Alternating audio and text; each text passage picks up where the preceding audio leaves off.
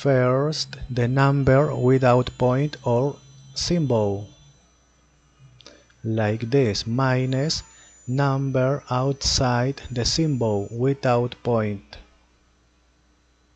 After the point, there is one number under the symbol, therefore 9.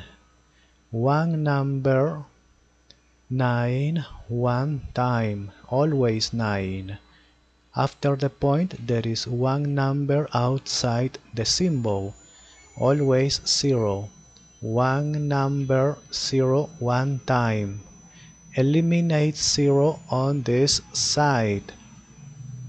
Subtract is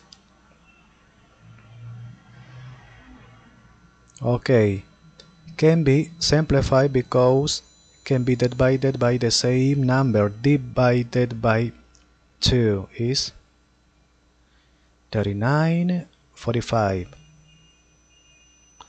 divided by 3 13 15 okay finish